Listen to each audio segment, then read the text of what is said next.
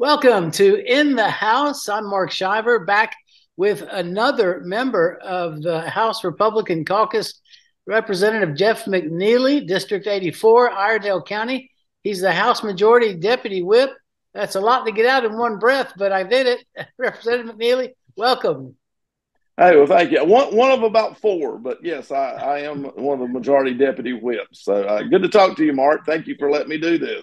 Well, uh, we're doing it on a Saturday. It's April Fool's Day, so I don't want you to hit me with no no crazy stuff now. You know, I, I, I'm I'm thinking about running for governor or lieutenant governor, like everybody else in North Carolina is at this moment. I'll let you know when that happens. that that is April Fool's right there. There you, there go. you go.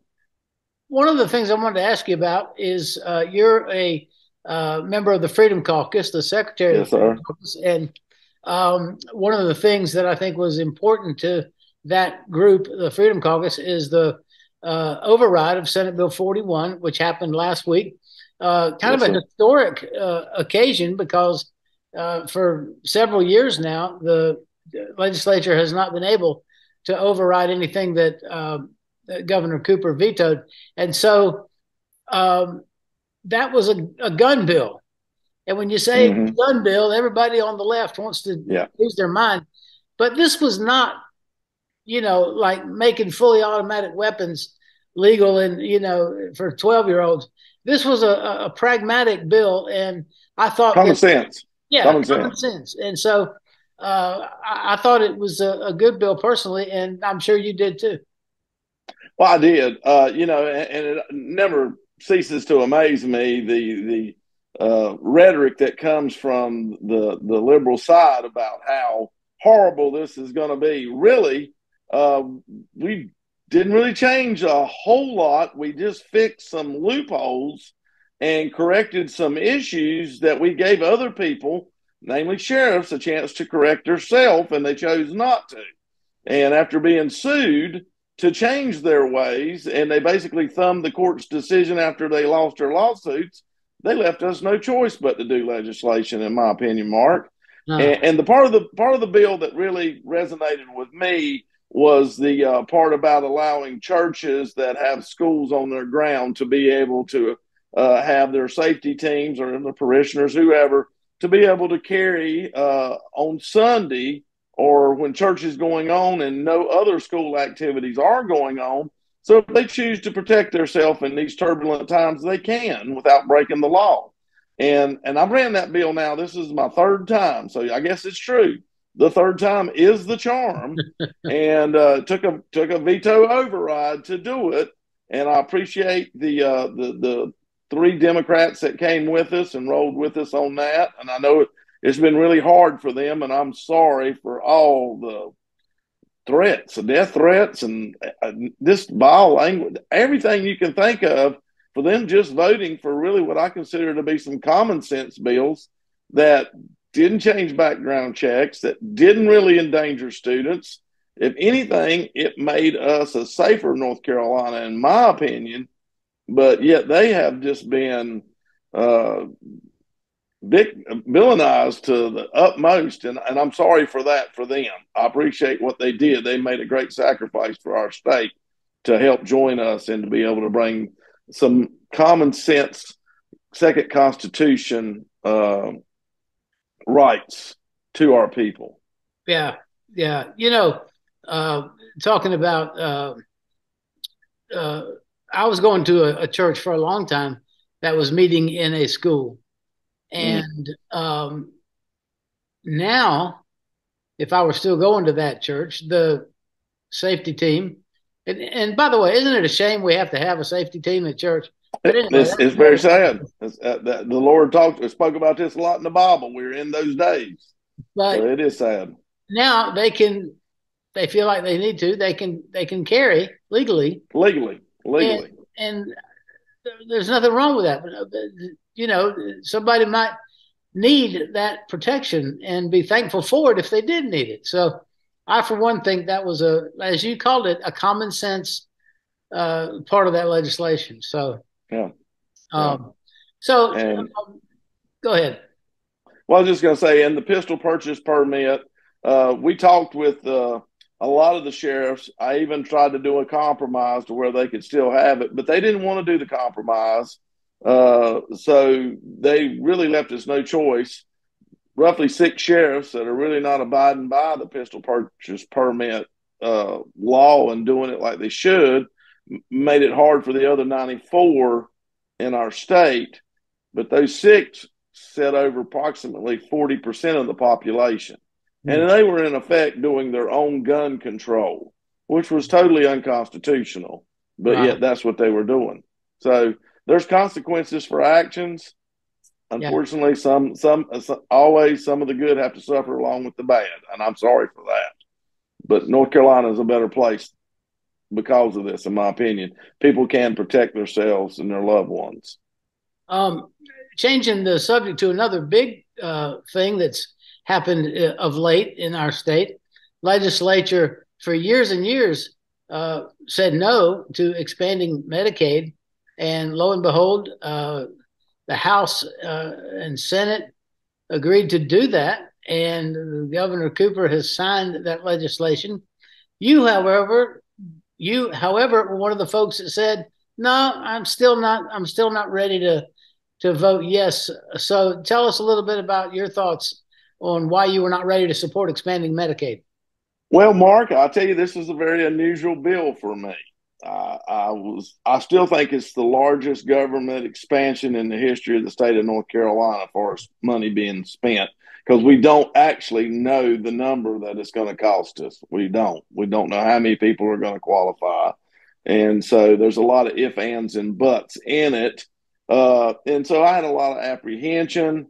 Uh, I do know inflation has hit the medical uh, field, the cost with any kind of procedures or hospital or whatever. So I, I feel for the people. And I had actually voted yes on the second reading. And the main reason I, like I said, was allowed to being one of them. Maybe I shouldn't tell this. This gives away a secret, but being a majority deputy whip, I kind of get an idea what the vote total is in our caucus right. on a lot of different bills. And so I saw that it was going to pass out of caucus. There was enough support. And I asked if I could run an amendment. I've learned these days maybe I don't like some of these bills but I can either take a stand or I can figure out a way to help my constituents and or make the bill better enough to make it swallowable. And so I was allowed to run an amendment for $50 million to be spread across the whole state. Every county was going to at least get 100,000 or more. It was based on population. And it would go to help with the administering of Medicaid expansion uh, basically, if there was any cost as far as hiring more people, DHHS in your county, and all these different things, and nurses and your health department, and whatever. Right. You know, there's there's some untold, unknown cost that the counties have to absorb when we make laws, and so this would help cover them. And it also go whenever you incarcerate somebody in your local county jail, all of a sudden you become the keeper of their health. And so if something's wrong with them, you foot the bill and it's a fee pay service type deal. And so you don't know what you just got into. Uh, we had a guy that was arrested with stage four pancreatic cancer. That was a little over a million dollars when I was a county wow. commissioner. Uh, so huh. they swore he was sitting at the lake in a nice house playing Xbox with the alarm going off, waiting for him to show up. We don't know if he did it on purpose or what. as far as trying to get help for his pancreatic cancer. But anyway, wow. so it would also go to cover those costs for incarcerated people because of COVID. We were behind already on our caseload. Now we're really behind because the court yeah. shut down. So we have a lot of people sitting in county jails that should be in central prison or another prison facility, not on the county. So uh, they let me run that amendment and it passed. And so I had skin in the game. So I voted for it on second reading when I say second reading, I voted for it when it went over to the Senate. When it come back uh, from the conference committee report to vote on it, the Senate had yanked that part out. Ah. And the deal, the deal kind of was that I'd vote for it if I got this amendment. And so when the amendment didn't come back over with the conference report from the Senate, there was no longer a deal. So I went back to believing that this is going to be a huge expansion So I voted no. So I voted yes to send it over and no when it came back. And I guess I'm maybe too much of a man of principle. I just I just want what I want, and the deal's a deal, and the deal wasn't kept, so I can't keep my end of the bargain either. So that's what makes it unusual. I see the need uh, for it, but yet it's such a huge risk we're taking to not be able to know. I, you tell me something's going to cost twenty million dollars, I can budget for that. When you tell me you don't know what it's going to cost, how do you make tax uh, policy, or how do you even do appropriation policy? How how do you do this? Because you're basically got a checkbook there, and you have no idea how much money you got in it. You know you don't have no how much money is going to go out of. That's scary if you're a government. I don't work that way. Yeah, you know, you're the first person. I've been saying this for several years now. You're the first person that has said what I've been saying, and that is there's all these ancillary costs, and we just don't know. And I've told people that, and they kind of, well, well, you know, whatever. But I'm telling you, when you're a doctor and you've already got a full caseload, and all of a sudden now you've got 75 more people in, that that are knocking on your door, you're gonna have to hire nurses and people that can process these claims and the whole nine. So, yeah, uh, it, it, it, you know the, the the cheapest thing they always say is building the building. It's the maintenance is what eats you alive. Same yeah. principle with this thing. Cheapest thing we'll probably do is the initial cost of passing it. It's it's keeping the thing alive from here on to whenever. That's where we don't know the cost and we don't know how much. It, it's it's to me it's very unsettling as a lawmaker to know I've, I've actually took on an unknown expenditure for the state of North Carolina and can't tell somebody exactly what it's going to be or how it's going to be. So that bothers me. And, and so, like I said, I, I, was willing to make a deal, but I'm not willing to give away the whole the whole farm. I'm just not. Well, uh, talking with uh, Representative Jeff McNeely here on in the House, and uh, Representative McNeely wanted to ask you about a bill that you've got out there that would put "In God We Trust" above the the dais in the House. I yeah. think that's a good idea. I like it. Um, I think, if I'm not mistaken, Arkansas or one of those county uh, states has done something similar uh, on their legislature. Actually, I think it's three. I think three states. Excuse me. I think three states have actually done it. I think uh, Kansas has done it. Uh, Arkansas has either done it or doing it, and I want to say Mississippi has done yeah. it. So I, I so, think there's not a thing in the world wrong with that, in my opinion. So, uh, are you getting any uh, uh, good response? Are you getting pushback? Where's the, um, the status of that bill? Maybe a little bit of both. I think everybody likes the idea. I don't see a whole lot of people really, you know, hollering and screaming, "Let's do it! Let's do it! Let's do it!" So uh, it's going to be one of these things. It might happen this session. It might happen in the short session. It might be the next long session. But it's out there, and so we believe in it. We believe strongly in it, and uh, so we're going to keep pushing till we see if we can't get it done. Yeah, well, I hope you do. well, I, I hope the Lord gives us the help to get it done. It's on, it's in, on, in Him I trust. it's on our money, so it may as That's well right. be uh, in our uh, House of Representatives. So uh, you've got a bill dealing with hemp that I don't believe you've filed yet, but uh, let's talk about that. Yeah, I'm really excited about that too, Mark. I appreciate you bringing it up. Uh, that bill, uh, we hope to get it filed Monday. We're we're trying to work on definitions. Definitions seem to always be the biggest pain in the butt on most of these bills we run because it's got to be defined just right. So we had one set of definitions. and now that wasn't exactly how it is because you know the problem is you got state and federal regulations going here, so you got to adhere to both and try to find that sweet spot. But this is actually going to uh, regulate the uh, the hemp CBD uh, uh, Delta 8, Delta 10, all those products that are out there that are considered legal uh, because they're under 0.3 uh, and people are using them, but there's no, it's just a wild, wild west. We have no kind of guarantees of quality.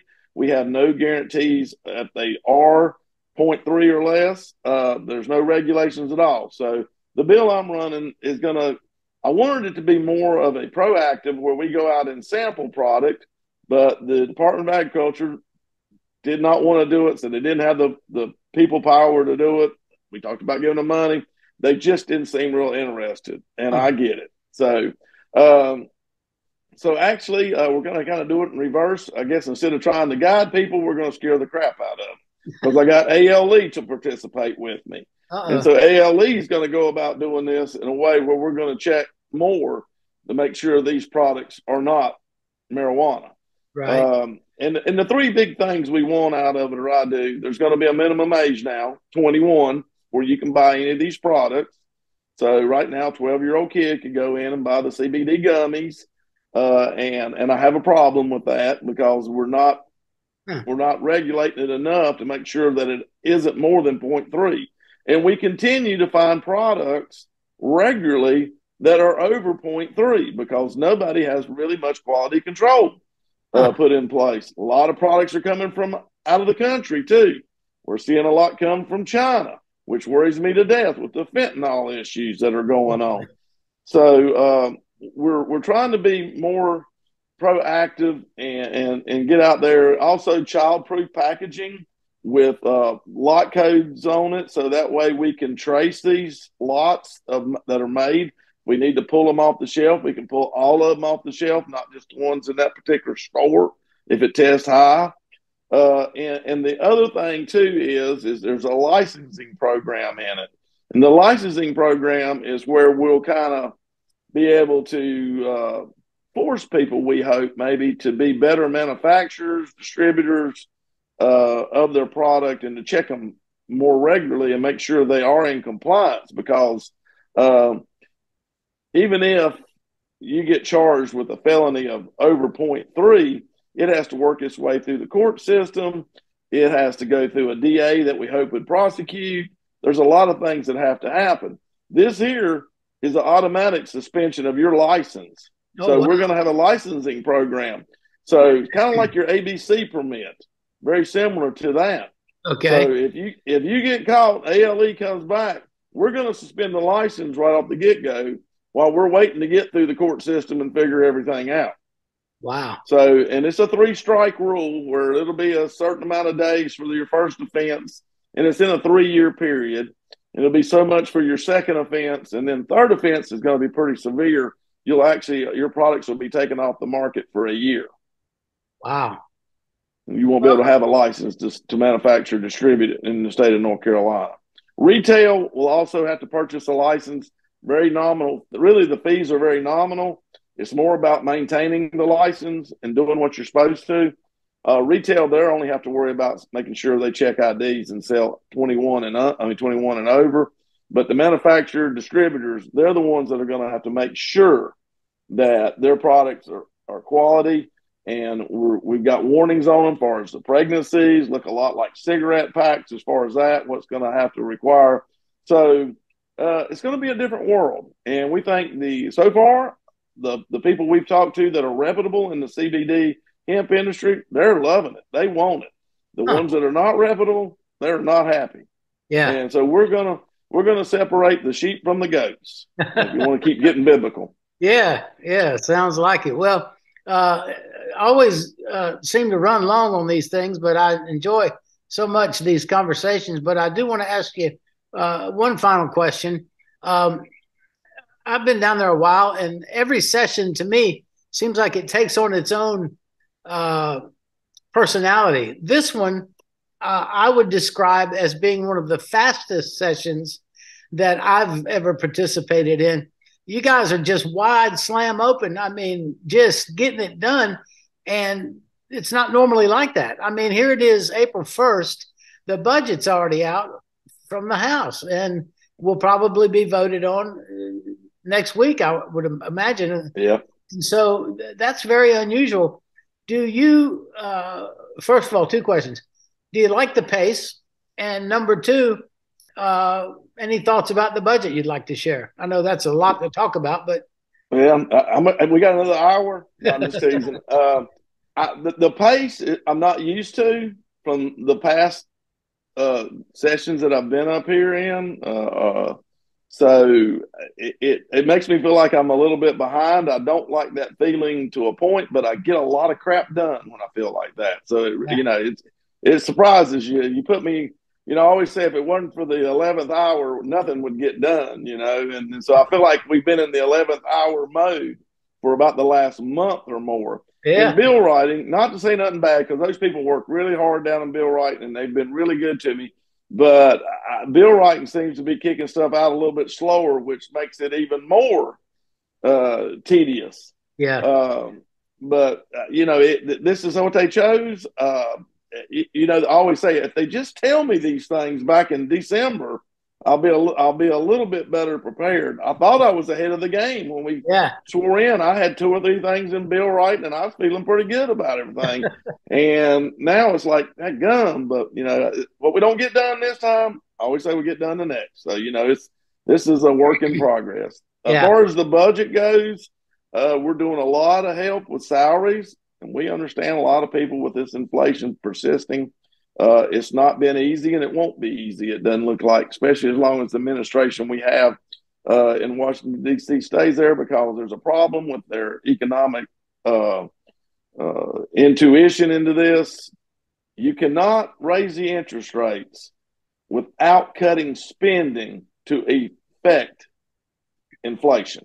You can't just raise interest rates. That yeah. will not do it. You've That's got right. to do both, and they have failed to quit spending.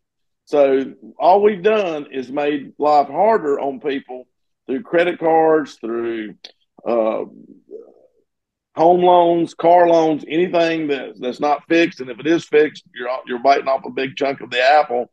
So uh, I'm glad we are doing the things with salaries but that's money we maybe could have spent elsewhere if it wasn't for the inflation.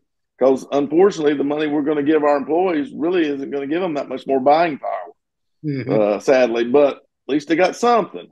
Yeah, and it's a pretty big it's a pretty big number when you look at it. So it's not that we're not doing. Yeah. It's just because of the Biden administration. There's no there's no worth to it. Yeah. That's the tough part in this. But we are trying to help, and we do understand. So uh, maybe if inflation gets under control with a lot better uh, administration in there, uh, their money will still stay the same. Eventually, they will feel the benefit of these raises. But um, you know, spending a lot of money still on infrastructure in this state, which I think is very wise. Um, a lot of good policy in it. Um, quite a few amendments were run the other day. wasn't too many taken. Uh, so the budget's kind of what it is going over to the Senate. It will come back. Uh, we will hopefully get a chance to add in a little bit of our own spices and flavors, each representative, uh, to see if we can help get some things maybe in our district. You know, you got the big number. Now, how can I claw something out of that big number for water and sewer or transportation yeah. or whatever? Uh, so that's my job now is to try to figure out how to do that best I can for Iredell County.